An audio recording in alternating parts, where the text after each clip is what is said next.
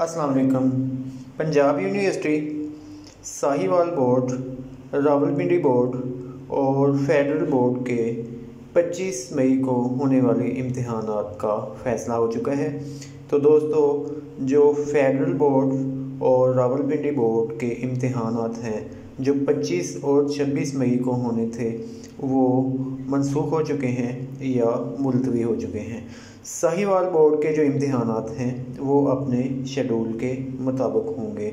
तो इसके अलावा पंजाब यूनिवर्सिटी के जो 25 तारीख को होने वाले इम्तहान हैं, वो भी मुलतवी हो चुके हैं और ये इम्तहान ताहुक में सानी मुलतवी कर दिए गए हैं।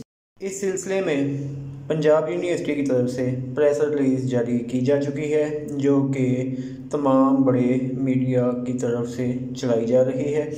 तो 25 को होने वाले तमाम इम्तहान जो हैं, वो अब ताहुक सानी मुलतवी कर दिए गए हैं। तो आए हम देखते हैं प्रेस रिलीज़ की तरफ़।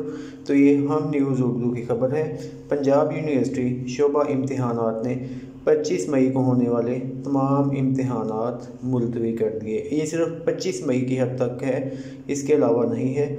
और दूसरा ये है कि 25 मई को मुलतवी होने वाले इम्तहान की नई तारीख का ऐलान बाद में किया जाएगा। यानी इसके मतलब अभी फ़ैसला नहीं हुआ कि ये फौरी लिए जाएँगे या इनको कुछ वक्त के लिए मज़ीद डिले किया जाएगा।